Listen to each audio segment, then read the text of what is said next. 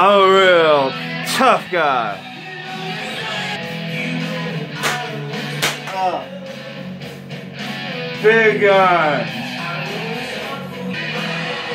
Rambo style knives.